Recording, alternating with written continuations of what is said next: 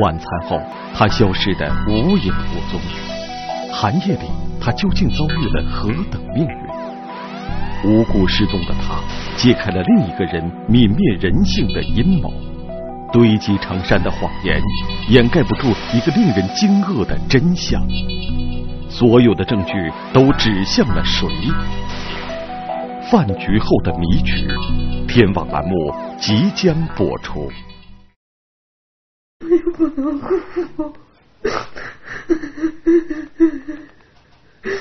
孩子一见着我哭，孩子闹不住，他不，他们见不着他爸爸，他爸根本跟说不上话。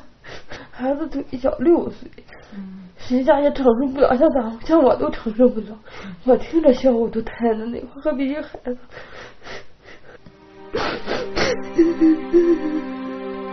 这个被痛苦折磨的女人是内蒙古多伦县的聂丽君，她一向以摆果摊为生。老实本分的丈夫李成涛也是个靠劳动养家的装卸工。二零一零年十月十一日这一天，他们辛劳但很幸福和谐的生活被彻底改写。我行了，一看点儿都十一点了，十点来钟了。因为给他打电话，他就关机了。那会我就觉得有点不对劲，因为啥？我们家这个吧，三百六十五天，天天都开着机了，他就没有关机的时候。由于丈夫是靠在街边等活搞装卸，因此手机要保持全天开机。关机这个信号让妻子感到了几分不祥。丈夫一夜未归，而且始终关机。天一亮，聂丽君第一个联系上了丈夫李成涛的五弟。哎，是老五吗？你自个昨天干活一黑夜没回来，你知道跟谁出去干活去了？哦，跟张景龙出去喝酒去了。我第一反应好像是说是没事，他带着他俩就回来了。那警察张景龙吧，在在农村那啥住的了，他喝了酒吧，有时候就住店。妻子按经验推断。丈夫可能和张景龙醉酒后一起住店了。他跟张景龙喝酒也喝过好几回了。张景龙再说也上我们家喝了好几次酒了。我说跟张景龙喝酒就没大事。但是这一次，妻子良好的愿望却被一个又一个异常现象所打破。这一次可能真的喝出了大事儿。以前都这样，不管喝多些酒，他要是喝多了，他就打电话说我喝喝多了回不来了。这一次。丈夫不仅没有给家人打电话，而且还有一个反常情况：喝多了酒，他咋得把车子推回来？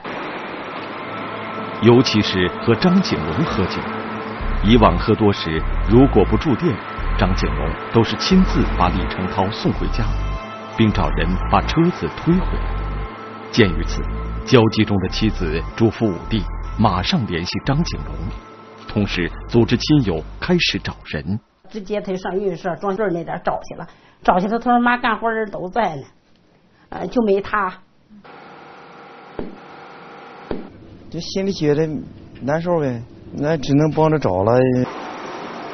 张景龙和李长涛是从小一起长大的好友，他说昨晚酒后他俩各自回家了，二人的家一个城南，一个城北之外。此刻，张景龙也积极组织人员往李成涛家所在的城南方向寻找。整整一上午的寻找毫无踪迹，家人万分焦虑时，十一点四十五分，一个来电让寻找停了下来。哎，老四啊，啊你喝醉酒了，喝多了还没醒酒呢。这个电话恰恰是丈夫李成涛的手机打来的。李成涛在家排行老四。妻子称他老四。那会我要报案去了，一听这个电话了，我就没报案。对方语言含糊，也没有回答聂丽君的问话，就挂机了。尽管如此，妻子还是转忧为喜，乐观的等待着丈夫的归来。如果丈夫喝醉了，那么二十几个小时怎么也该醒酒了。家人在昨晚他们喝酒的饭店也问到了一个新情况。我女婿第二天早晨八点来钟推车子去，第二天早晨十一点来钟你没醒酒吗？你会推车子你就就醒不了酒吗？对不？这不是矛盾吗？失踪一夜的李成涛早晨去饭店推了车子，十一点多又给妻子打了电话，但电话中只说不答，更没有告诉自己在哪儿。之后既不开机，也不回家。干嘛？你还会打电话，还不回来呢？你又没干了什么短的见不得人的事，为什么你不回家呢？此刻，张景龙又来到李成涛家，积极出主意想办法。可是就在张景龙的叙述中。岳母似乎感觉到一些不真实的情况。说俺们家女婿告诉他慢着点呢，他就这么说的呀。这我不信呀，我就觉得不信。他要喝多会说这话，他就不多呀。他知道告诉他慢点，他能多吗？他为什么他就不骑车子回来呢？这一连串异常现象令家人再次生疑。傍晚，就在大家开始再次寻找时，妻子也再次接到了丈夫的手机来电。啊，你喝多了，喝多你在哪呢？我们好找你去。嗯，你快点回来啊。他主动给我打过来了，下午五点来钟打电话，他那啥，他就他就不愿意了，那会就不对劲了，因为啥？他就打呼噜不说话了，我就说不行，报警。丈夫不仅一句话没说，这次来电还有一个更奇怪的现象：电话未挂，突然传来呼呼呼很大的响声，此后就一直无人接听了。此时距离李成涛失踪整整一天了。警方接到了这个报案，到了一天一夜的时候，这时候感觉到，呃，这个人可能是丢了，出外地了，出外地出走了，还是这个到哪儿了还不得。在调查过程中呢，我们了解到李成涛呢，这个人没有债务纠纷，也没有婚外情史，而且夫妻双方和家里面的关系呢处的都非常好，我们就觉得李成涛这个案子。是一起无故的失踪案。在这个只有十万人口祥和的小县城，从来没有出现过这三种情况以外的失踪案。两次给妻子打电话说回家还没回家，这样应该是李成涛出现意外的情况有。这样我们就作为我们呃刑警队啊，就应该按照失踪人口、疑似被害案件进行立案侦查。但是这个案件没有现场，不知道现场在哪。人失踪了，啊，犯罪分子是谁不知道。刚刚到任三个月的杨玉海局长，以他多年的刑侦经验和敏锐的洞察力，断定这将是一起不同寻常的案件。这边这个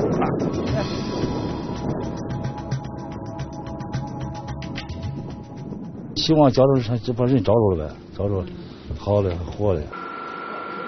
哥们兄弟天天在一堆儿，不闹别扭，吵架兄弟。他跟我在俺们在一块干活，小伙子忠厚老实。他那人也老实，他从来不惹人。你还老实巴交的，跟院儿了，跟哪惹过事儿？李成涛就是这样一个老实厚道的人。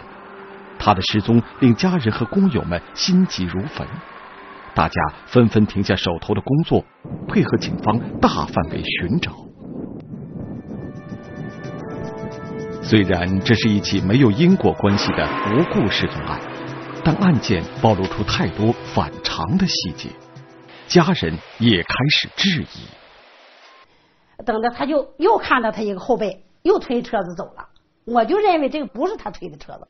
他说他喝多了一会儿回家，这个电话是不是他打？我丫头找找他找的那个，你说那着急吧？他赶紧见他是那女婿电话，他心情就赶紧接，听不出来是他女婿电话，是张景龙变口音，我这么怀疑是这种的。李成涛依然毫无消息，种种反常的细节昭示了案件的复杂性。多个疑点正是警方侦查的重点。找了五天呢，哎呀，这都伦街边子三十里地以内都找了。专业工百分之九十五都去了。骑摩托车就是咱们这个街上这个街里的这些专业工也帮着找，在街里找，我们上野外找。当时这个张景龙呢？也在这个找人这个队伍当中，警方第一时间将正在找人队伍中的张景龙找到公安局。这不仅仅因为他是最后一个与失踪者接触的人。当张景龙进到刑警队以后呀，马上我们就意识到，因为张景龙曾经两次受过公安局的处理。首先从这个人的人品上，我们觉得这个人应该。详细的进行对他询问。十几年前，王振军大队长就曾经对峙过张景龙。第一次就是因为呃别人告发他强奸幼女，第二次因为盗窃山羊，但两次都逃脱了公安局的打击。前呀，爱偷点别人的东西啊，这个从作风上，嗯，有点毛病啊。这个人啊，是在这个做了案子以后呀，那脑子挺聪明，同时呢，也嘴也相当硬。没有确实的证据，这个在一般的场上，他从来是他不承认。当年由于证据不足，警方也只能做无罪处理。这个引起村民公愤的张景荣，如今和李成涛的失踪又有着说不清的关系。对此，村民的态度依然鲜明。议论这个事儿的是百分之百的，就是都怀疑他。也许是当年的侥幸心理很重。再次走进公安局的张景龙，还是一副毫不在乎的神情。这人轻易的不能相信他的话，因为他善于颜面。警方掌握了张景龙的人性和说话的可信度，对他的讯问必将是一场心力、智力和气势上的较量。你意思李松涛你找不着了是吧？那我不知道啊，嗯，咋还得找得了。啊？他他还不自己还是没事还不回来？要不回来呢？那要不回来，咱也不知道信啊。他自己回不来呢？他自己回不来，咱就不知道了。他这个到底究竟本身有啥事那咱就不知道了又。那喝酒了不承认喝酒了，那喝酒不能害了他。张景龙很无辜的说：“他怎么也不会害了老实厚道的李成涛。”坑蒙拐骗的这种的，一门招他门惹的，都躲着他。那么，这个人人都躲着的张景龙和李成涛之间到底有了什么招惹，以至于李成涛酒后就失踪了呢？他俩是没什么没什么过节，就当中啥啥过也没有。啊，我是一个卖水果的，他是我们家那干装修，再说他的农村种地也没啥过节。但李成涛的妻子披露了一个线索：半年前，张景龙借了李成涛八千元钱，至今未还。警方分析，李家提到的这个债务情况，很可能就是李成涛失踪的真正原因。近日，李成涛催过张景龙还钱。这个张景龙讲，就是说，嗯，咱们见面，我商量商量看还钱的事儿。这样到下午五点啊，两人见了面。二人喝酒是为了商量还钱，酒后李成涛就下落不明了。但李家人说，以前他们之间也有过这样的经济往来。去年说那个人还比较说话还比较挺有信用，借过一回钱，说哪天还就哪天还了。那八千块钱不可能，谁也不可能说是八千八千块钱害死他。那俺富贵不缺钱花也。张景龙强调的说法，家人复杂的态度，村民一致的观点，警方所有的判断，都将拿证据说话。他讲，呃，我借他这八千块钱呀，嗯，我的妹妹能够偿还，而且我家里有牛，有五六十头牛。有五十头牛？哦。哎呀妈呀，那个锅都没有，连个毛他都没有。你上黑牛那？哪了？没了吧？这个。谎言不攻自破，张景龙在这样的核心问题上说了谎。首先，我们要排除他，因为他是他的同伴嘛，啊，他俩从小一块长大的，啊，关系很好，啊，我们从一开始就想把他摘掉，但是从现在来看，啊，他摘不掉。针对李成涛失踪后打给妻子的两个电话，警方的侦查也发现了新的疑点。我们就问李成涛的家属，在接到这两个电话的同时，这个张景龙在哪？经过这个李成涛家属的详细回忆啊，他们家突然也也就反映出来了，说当时张景龙和我们不在一起，恰恰就是在接这两个电话的时候，张景龙脱离了李成涛家属的视线。在这两个敏感时间点上，张景龙恰恰出现了短时间消失。不管他的消失有多大的偶然性，技侦都精确反映出那两个特殊时间段，张景龙和李成涛是在同一个位置。通过技术手段确认张景龙和李成涛应该是在一起的。但是作为张景龙来讲，还在积极的帮助查找李成涛，那李成涛活着的可能性还大吗？不大了，就是说明李成涛有可能被害了。这样被害的最大的嫌疑人就应该是张景龙。张景龙的谎言一一被戳穿后，依然在矢口否认李成涛的失踪与自己有关。第二天他都去，他去他推车子，骑公主骑车子，你都看着了。谁看着了？那个店老板跟老板娘。不会再问呢？怎么看着了？什么情况下看着了？看着啥了？你还给我提供这个？用你提供？而且是极力的给自己辩解。如果是李成涛过几天要回来呢？你们公安局这不冤枉了吗？李成涛失踪后，张景龙曾专门去饭店嘱咐过店主，如果警察来调查，就说自行车是李成涛推走的。在第一天喝酒的其中的一个人，嗯，就是穿着一条迷彩裤子，戴着戴着帽子，穿着一个那个干活用的那个大衣，当时来了就把自行车从外头推走了。他说：“哎，肯定是因为当时推车子这个人穿的那个衣服跟那个失踪那个人就是一身衣服。”警方不仅查实了这样一个假象，而且还在张景龙身上发现了更加可疑的东西。张景龙不断用谎言干扰警方的侦查，大量的核查工作消耗着警方侦破的黄金时间。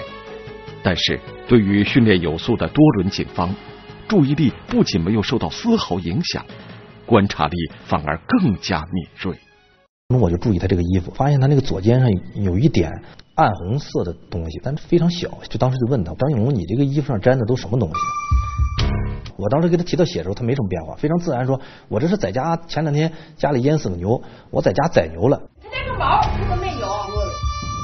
被岳母说成家里连一根牛毛都没有的张景龙，此刻却说这是在家宰牛时溅在身上的血。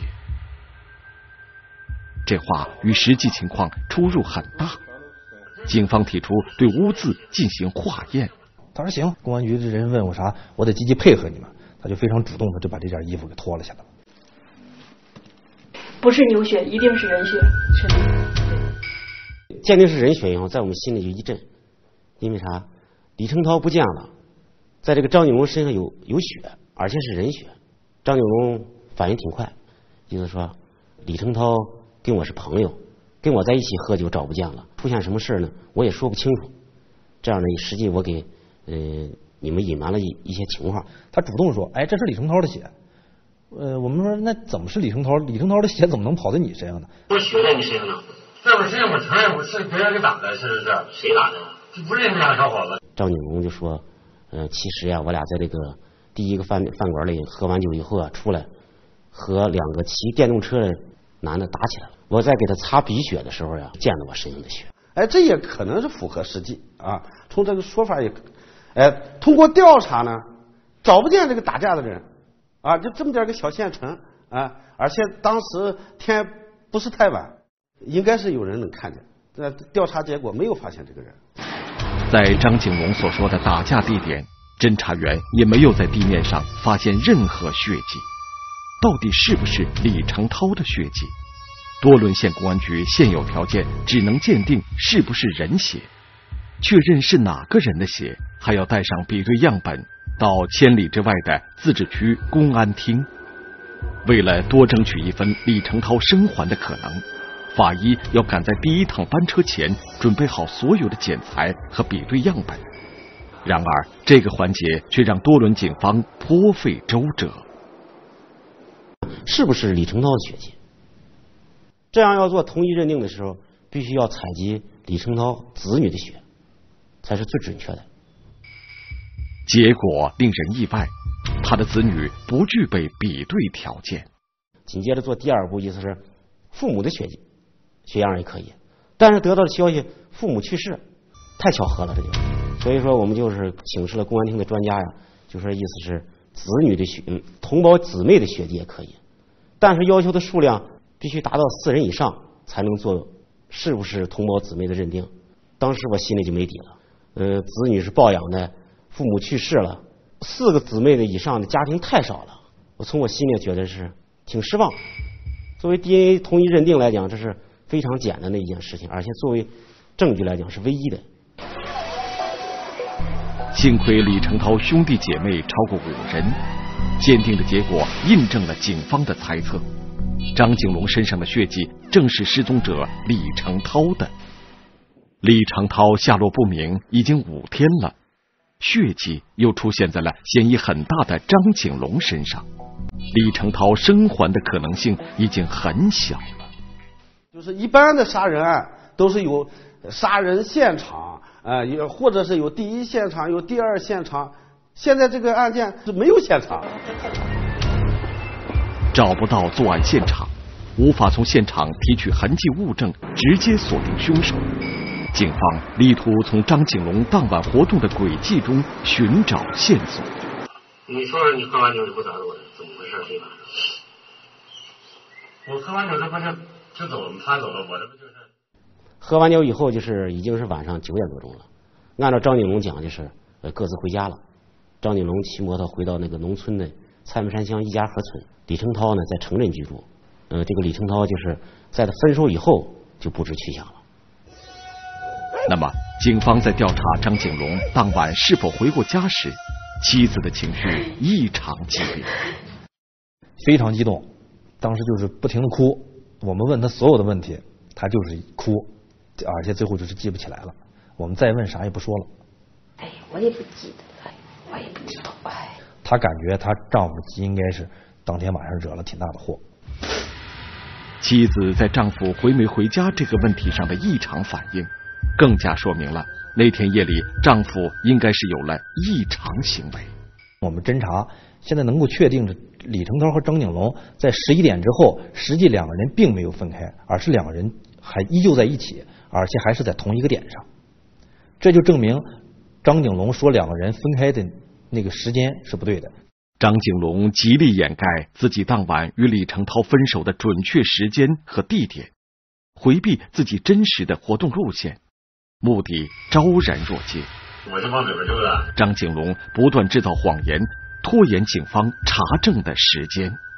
他是在和我们耗时间，因为他清楚，如果在那个短时间内我不交代，李成涛你们找不见，我就可以逍遥法外，蒙混过关了。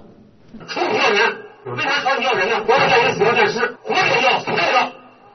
就是你实实在在说了，我们还。审讯还在艰难进行，侦查正在深入展开。此时，一个十分重要的情报准确提供出：案发当晚，张景龙曾在自己的母亲家一带有过长时间停留，应该是在四个小时左右。张景龙谎称自己当晚回了在乡下伊都河的家，这个说法被警方的侦查完全颠覆。线索反馈，他不仅没有回自己的家。而且和李成涛一起出现在了距离自家十公里外的上都河母亲家一带。我们准确的认定李成涛和张景龙十二号的凌晨两个人是在一起，那个地点呢就应该是在张景龙的母亲家。一个知情人也佐证了警方的这个重要结论。我对出租车司机说，十二号的凌晨接近四点，他接过一个电话，有一个人就告诉他说上上上都河来接他一趟。当时我们是搞了一个辨认。这个出租车司机一眼就能认出了这个当天黑夜打电话的人，就应该是张景龙。由于是凌晨四点，时间太早，这名司机没有从县城赶到四十公里外的上都河来接张景龙。警方分析，这四个小时应该就是张景龙杀人灭迹的作案时间，因此张景龙母亲家一带是警方重点搜查地段。我们当时分析，如果李成涛已经被害，这李成涛的尸体有可能是埋在山上或旷野上，可能更不容易被别人发现。因为我们这的地势是丘陵地带，地势比较复杂，对藏一个人来讲非常容易。如果找一个人，犹如大海捞针。搜查正在进行中，审讯气氛依然紧张。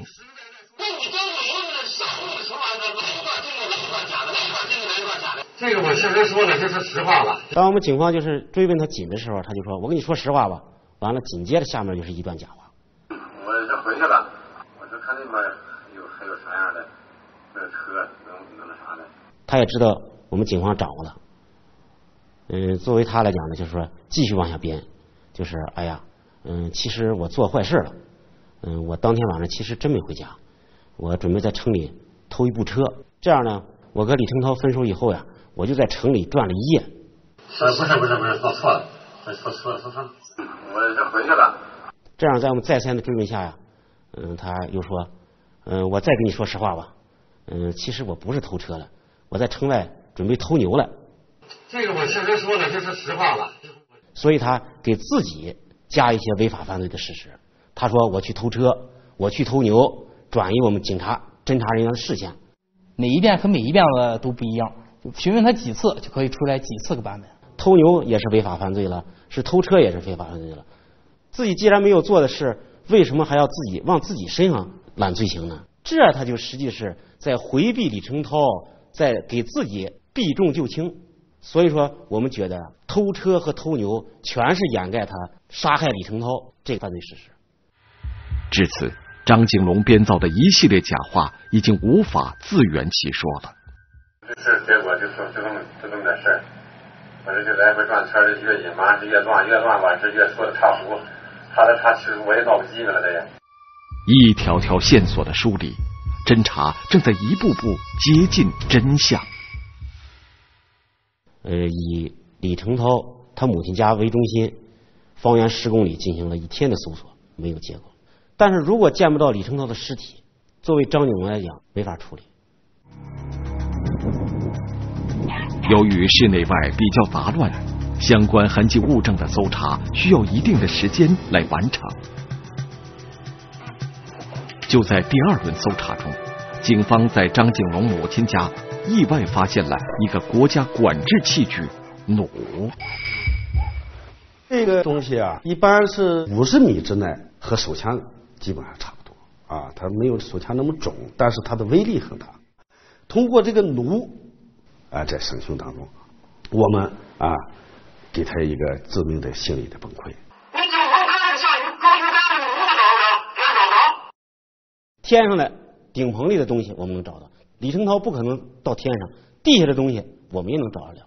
所以说，在这种情况下，我们只有说，对我们掌握的证据，在恰当适当的时候，向那个张景龙出示，打破他的心理防线。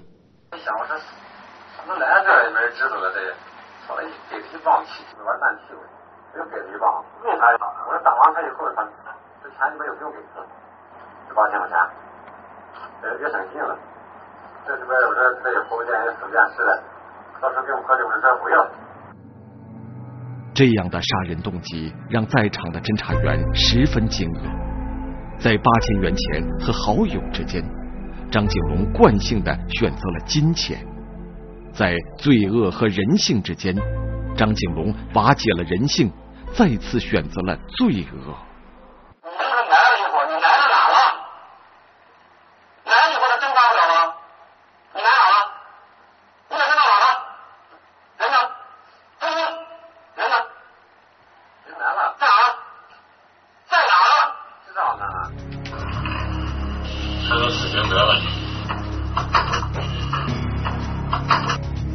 仅仅为八千块钱的追债，张景龙残害一起长大的好友。啊，我我李成涛当时就是埋在这儿，而且选择自己的母亲家作案，埋尸毁迹。在张景龙的换算公式里，金钱重于友情，重于亲情，重于人性，重于他人的生命。面对这样的罪恶之举。村民依然有话要说。他自己把他自己除掉了，哎，也是为老百姓就是除掉一害吧。我是把那个衣服忘了换了，就这么点事儿。今天如果我的这些衣服搁在家里，我一换呢，也没这个血迹啥也没有了，这个也确实就怀疑不着我了。我就这也这也就没啥事儿了。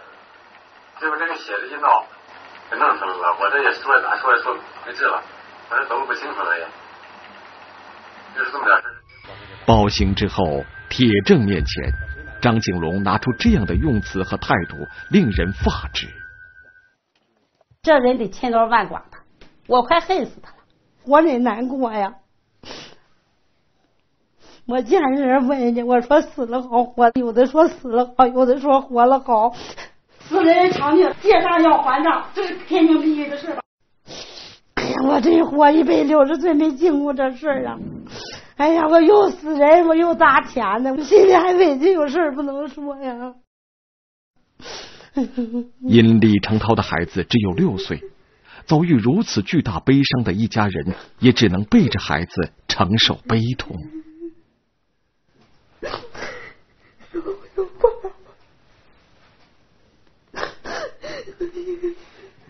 这撕人心肺的痛，能否触动张景龙久已麻木的灵魂？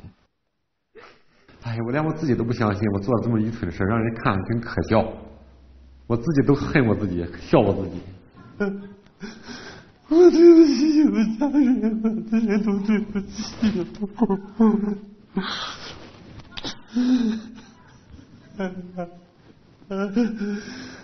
我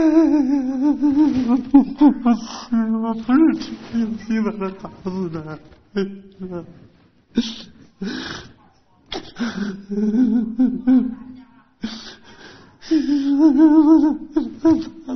害了你们一家子，害了我的一家子，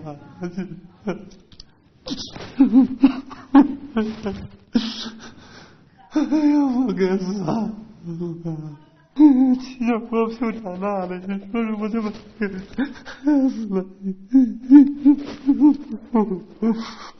一个小小的几千块钱要一个人命，如果你不杀他，你自己也死不了呀，对不对？哎，所以说你你留的命，你还挣不了八千块钱吗？就是你为啥就要最后用这种方法对待他？我俩一点仇怨没有，一点原因都没有。